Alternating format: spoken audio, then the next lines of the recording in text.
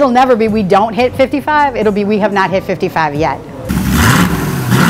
Well, I'm pretty passionate about my students and about our school, but when I think of 55%, I think of beyond them as a person.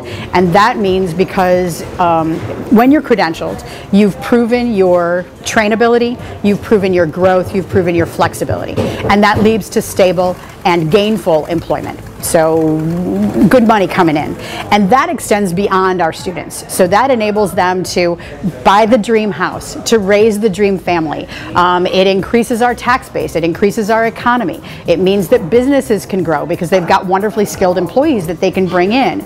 But it also then kind of trickles down into the family, right? It means better schools. It means not having to hold two jobs. It means being able to spend more time with your kids, with your family. It means being able to take care of your house, build your neighborhood, join community centers, help growing other students, giving that leg up to the next to the next one in line. So I think that the beautiful thing about 55 to me is I believe and I feel like it's the tipping point that then becomes this perpetually running engine um, that helps Southwest Florida become an economic powerhouse, uh, which benefits everyone, which benefits those coming up. It benefits our seniors because we've got great infrastructure. We've got wonderful health care with caring individuals who are credentialed and ready to take care of them.